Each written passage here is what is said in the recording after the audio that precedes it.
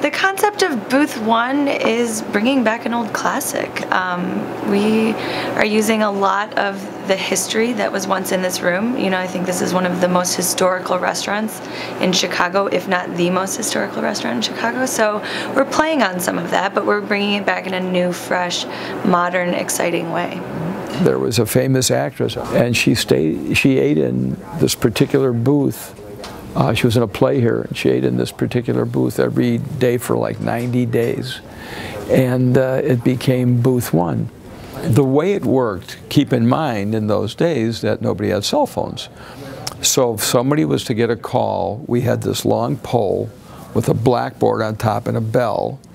And uh, Jane Smith got a call, and we'd write her name on the board, and we'd walk through the dining room and say, telephone call for Jane Smith.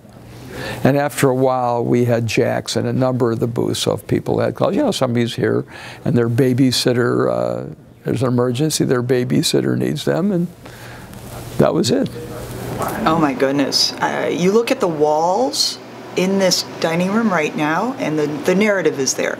Everyone from kings and queens to Lassie to, honestly. Lassie. Uh, was here. And uh, what did Lassie eat for dinner? Do you know? There was there was actually outside something called the pup room, P-U-P, and lots of dogs would come and eat outside.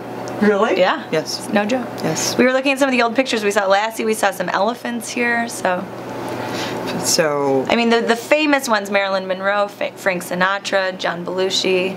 Uh, but like Sue said, if you look at the walls, you'll see countless names, faces, and generations from mm. the 40s to the 50s to the 60s to the 70s. I mean, everybody's got a memory here, and that's what I think makes this place so special.